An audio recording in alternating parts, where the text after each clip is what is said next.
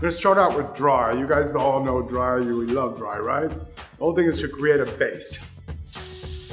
I'm going through her hair. At the root, I'm spraying dry. I'm not shy with dry, and I'm sure you guys aren't shy either.